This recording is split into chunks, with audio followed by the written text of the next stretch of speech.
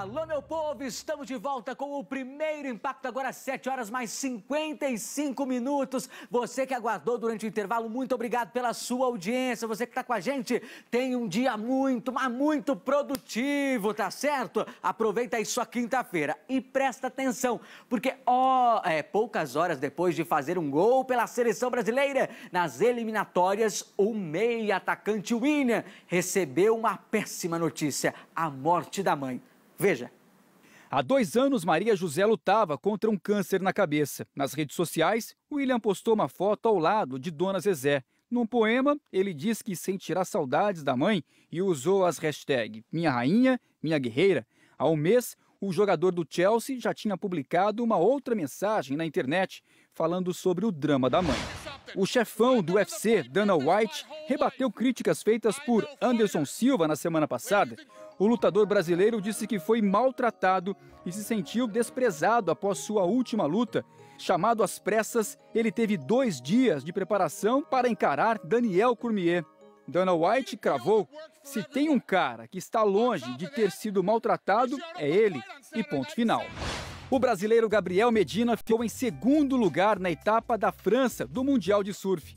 Líder da temporada de 2016, o havaiano John John Florence foi eliminado na semifinal. Com isso, a diferença entre os dois melhores surfistas do ano caiu de 4.200 para 2.700 pontos. O campeão da etapa francesa foi outro havaiano, o novato Kenya Singh. E vamos fofocar agora. A cantora Ivete Sangalo e a modelo Gisele Bündchen fizeram um dueto da música Quando a Chuva Passar. Sucesso da rainha do axé para uma campanha publicitária. Você tá vendo aí? Para surpresa de todos, a modelo mostrou que consegue arriscar uns acordes no violão. Tipo que nem eu, né? Claro que com a supervisão de um dos maiores nomes da música brasileira. O resultado ficou incrível. Dá só uma olhada. Vamos ouvir, vamos ouvir agora, e agora vem comigo aqui, porque a cantora ja, é, Jackson, Janet Jackson, a irmã do Michael Jackson, confirmou que está grávida. É do primeiro filho aos 50 anos de idade. Roda VT.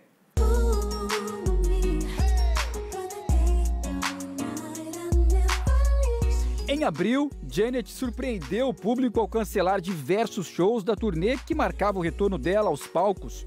Na época, ela se limitou a dizer que estava planejando a família junto com o marido. A confirmação da gravidez foi feita agora pela revista People. A publicação exibiu uma foto da irmã de Michael Jackson mostrando um barrigão. Passageiros de um voo comercial que ia da Holanda para a Inglaterra se surpreenderam ao dar de cara com a duquesa Kate Middleton. Ao invés de usar um jato particular da família real britânica, Kate usou um avião comum ela foi escoltada por seguranças e desembarcou antes dos demais passageiros. Essa foi a primeira viagem oficial da duquesa sem o príncipe William e os filhos. O cantor Nick Jonas acaba de lançar o clipe da música Voodoo. O caçula dos Jonas Brothers aparece curtindo uma noite psicodélica em New Orleans, nos Estados Unidos. Por enquanto, o vídeo só está disponível para assinantes do Tidal. Mas nós separamos um trechinho para você Dá só uma olhada.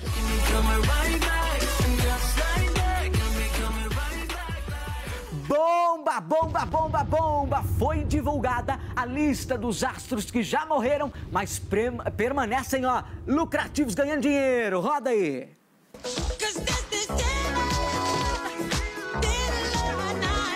Como esperado, no topo, o rei do pop Michael Jackson, com uma receita recorde equivalente a quase 2 bilhões de reais.